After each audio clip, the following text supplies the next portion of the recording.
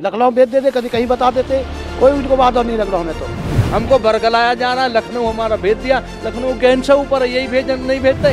इक्कीस मांगों में से उन्नीस मांगों पे इन्होंने विचार कर लिया जो इनके स्तर की थी। योगी क्या है? यो, योगी ये लिख के भेजेंगे वो योगी पास करेगा। अब दो जो मांग है एक नई खरीद की जो नए हम मांग रहे हैं नए भूमि अधिग्रहण एक्ट के तहत। और जब तक हमारी ये मांगें पूरी नहीं हो जाती हम लोग आंदोलन में कोई समझौता नहीं करेंगे। क्यों महकाते हैं किसानों को ये? मैं कहता हूँ सामने दस मिनट बैठा कर डिबेट करवा दो आप किसी झूठ बोल कर बात कर रहे हैं। नमस्कार आप देख रहे हैं लीडिंग भारत और मैं हूँ आपके साथ आस्था तिवारी। आज हमारी मौजूदगी ग्रेटर नोएडा में है। ग्रेटर नोएडा के प्राधिकरण आवास यहाँ पर ऑफ़िस के पास बैठे हुए हैं। यहाँ पर हज़ारों की तादाद में किसान का जत्था पहुँच रहा है। और मांग है, बहुत सी ऐसी मांगे हैं जिसको लेकर के आज यहाँ पर मौजूद हैं। एक समय वो देखा गया था जब किसान आंदोलन एक बड़े अवसर पर पहुँचा था और लगातार चर्चा थी कि आखिर उनकी मांगे पूरी की जाए एम एस पी बिल को। लेकिन लगातार सरकार पर आरोप लगते आए हैं कि वो किसान के साथ ज्यादती करती आई है। अब चर्चा करते हैं कि किन मांगों को लेकर के यहाँ पर लोग बैठे हैं, क्योंकि कहा जा रहा है दस प्रतिशत उसको लेकर के उनका जो भी मुआवजा है या बात की जाए, प्लॉट की बात है, वो सारी चीज़ें हैं।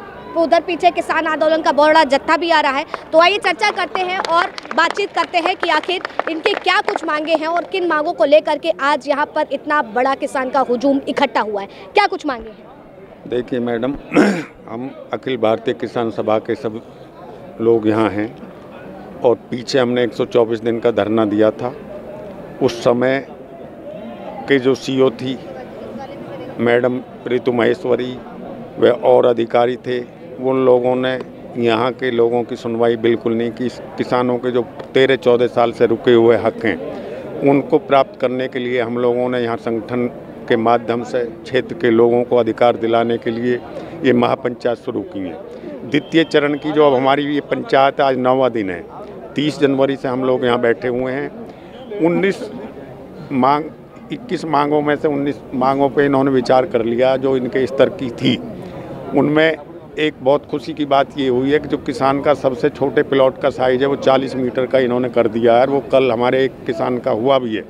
तो ये जो सी ओ आए इनसे हमें उम्मीद है पूरी तरीके से कि ये क्षेत्र के किसानों के हक की बात सुनते भी हैं और करते भी हैं। अब दो जो मांग हैं एक नई खरीद की जो नए हम मांग रहे हैं नए भूमि अधिग्रहण एक्ट के तहत खरीद की जाए और 10 परसेंट जो प्लॉट का वायदा इन्होंने हमसे किया था चौंसठ परसेंट और 10 परसेंट। वो दो इन्होंने रेफर कर दिए लखनऊ के लिए। लेकिन क्षेत्र के लोगों का लखनऊ तो यही है। लखनऊ से बिल- तो लखनऊ के लगता है कि जो 10 परसेंट की आप लोगों की मांग है वो अभी तक आप लोगों को मिली है या नहीं मिली?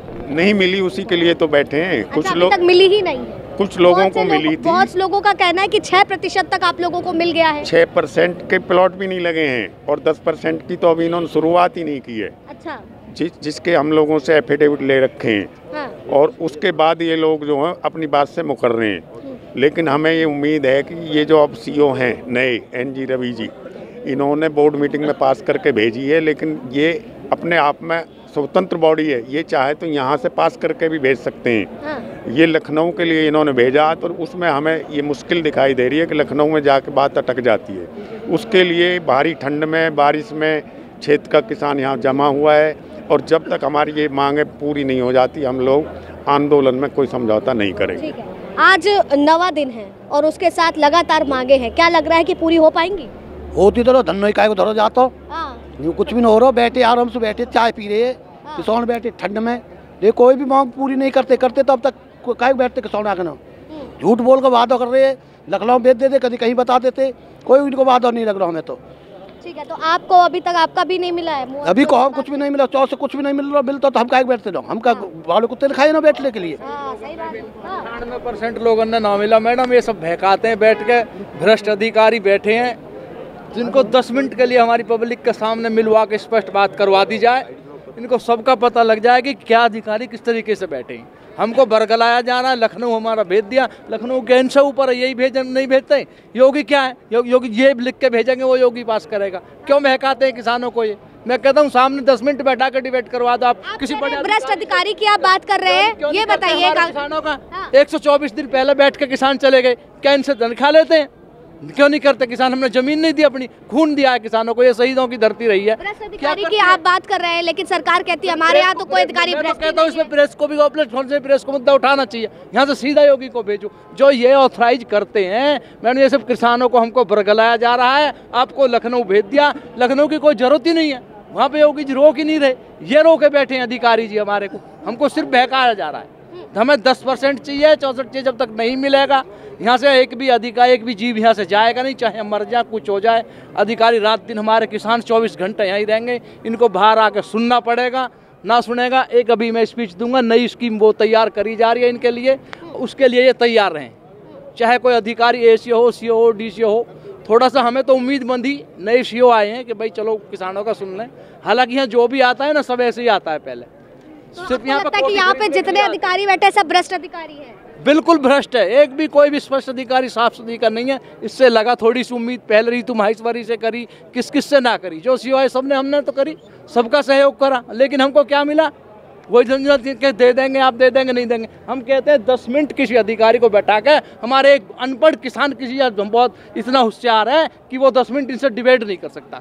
कोई भी अधिकारी इस बात उससे पहले 124 नहीं दिन कर सकता दोस्तों। 124 दिन भी आप लोग धरने पर बैठ के गए। उस समय क्या आश्वासन दिया गया उस समय ये दिया था इक्कीस तारीख को आपको जो मेरे ख्याल से इक्कीस दिसंबर थी नवंबर में कि आपको डिटेल मिल जाएगी ओके हो गया आपका। हाँ। हमने पास कर दिया है जिसमें चेयरमैन खुद मौजूद थे।